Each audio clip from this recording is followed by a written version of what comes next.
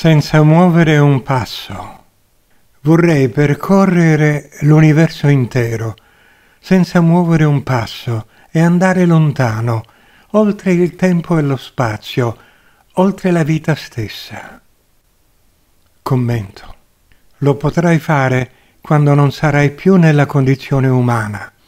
Allora saprai chi sei, allora saprai chi siamo, frammenti del tutto, particelle d'infinito.